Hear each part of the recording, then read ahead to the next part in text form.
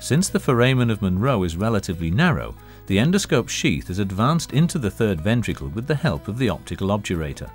Thanks to the conical tip, the foramen is dilated without damaging the edges. By rotating the 30 degree endoscope backward, the entry to the aqueduct can be visualized which is obstructed by gliomatous tissue.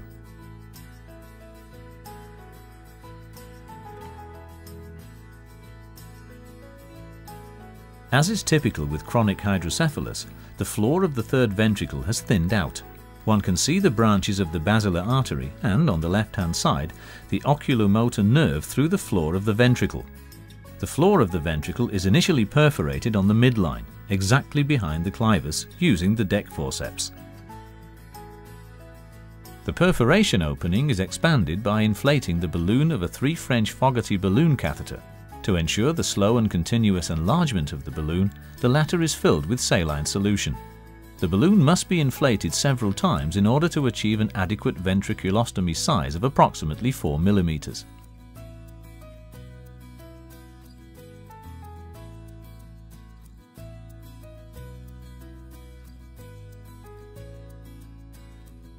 The strong pulsing of the floor of the ventricle indicates a good CSF flow. To ensure communication with the prepontine cistern has been achieved, the inspection is carried out using a 30 degree endoscope. One can see the branches of the basilar artery and, on the left-hand side, the oculomotor nerve.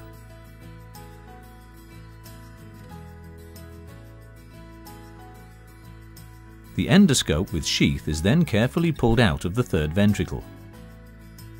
The anatomical structures in the area of the foramen are intact. To rule out an active source of bleeding, the endoscope sheath is removed from the cortical puncture channel under visual control.